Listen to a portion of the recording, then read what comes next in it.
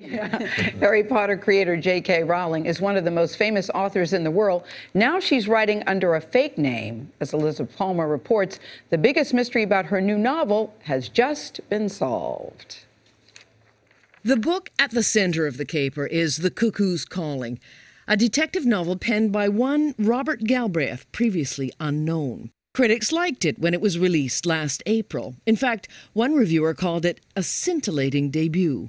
And the author, said to be an ex military man, was praised for detailed descriptions of women's clothing.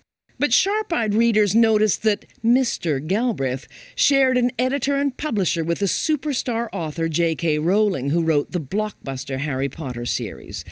And eventually, literary sleuths at the London Times revealed the two writers were actually one and the same person. The Cuckoo's Calling, whose sales had been a little anemic, rocketed to number one on Amazon's bestseller list. It's opened up a whole new avenue of writing for her. And I think it's even possible that she might pick up some new fans, people who like to read like classic mystery stories, people who were a little too old for Harry Potter when it started being published. The Cuckoo's Calling is Rowling's second crack at an adult audience.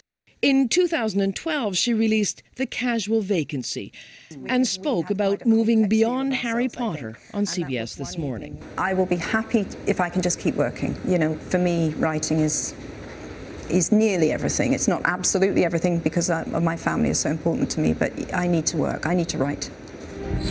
The Harry Potter series, seven volumes about a junior wizard, sold over 450 million copies worldwide. The Cuckoo's Calling is proof that J.K. Rowling's pen can still work its magic. For CBS This Morning, Elizabeth Palmer, London.